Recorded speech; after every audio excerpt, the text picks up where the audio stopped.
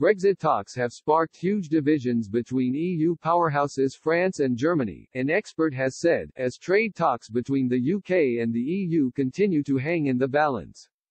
French President Emmanuel Macron and German Chancellor Angela Merkel remain at loggerheads over what stance to take on the UK's imminent exit from the European Union.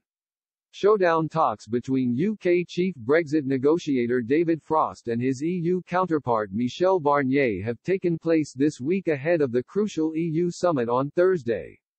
As talks reach their climax, Mujtaba Rahman, the head of Europe at Eurasia Group, a political risk research and consulting firm, has claimed a tug of war continues to take place between Berlin and Paris. Writing for Politico Mr. Rahman, who previously worked at the European Commission's Directorate General for Economic and Financial Affairs, said, the two capitals have subtle, but real differences over the shape of the UK's future partnership. If there is to be a Brexit trade deal, the submerged rocks of those differences will have to be navigated.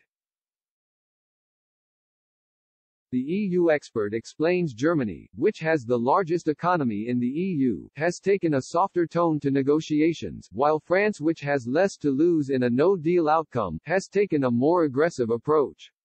Mr. Rahman says the French government believe the UK is approaching trade talks from a position of weakness, which has underpinned its tough stance on areas such as fishing. Mr. Rahman adds Mrs. Merkel, who currently holds the six-month rotating EU presidency, faces a difficult balancing act of seeking a deal while maintaining EU unity.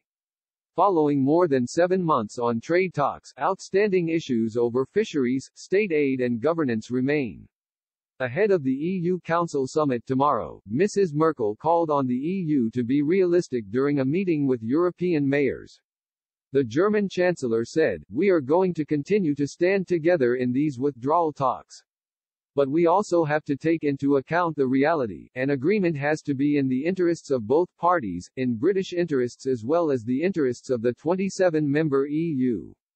Boris Johnson had previously set the EU a deadline of October 15 in order to reach a deal before the formal end of the transition period on December 31. Later this evening, the Prime Minister will hold a video call with Ursula von der Leyen, the President of the European Commission.